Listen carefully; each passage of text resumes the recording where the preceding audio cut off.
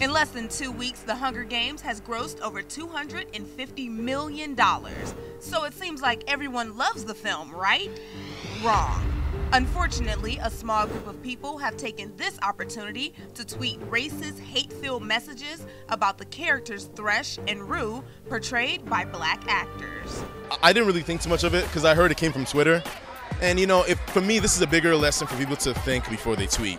And a lot of these people who, who, who tweeted these things, I don't think they even really understood what they were doing, you know. And and for me, it's just it's not new. It's not even newsworthy, you know. I we're part of a really big movie. The response has been amazing. Suzanne Collins, who wrote the books, really loved the movie.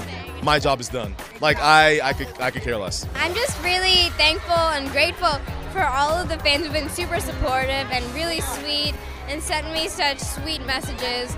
And I think I'm just really proud of, of the movie and of my performance. And so I'm just, I'm really thankful for that. Way to take the high road. The Hunger Games is in theaters now. For HipHollywood.com, I'm Vanessa Barnett.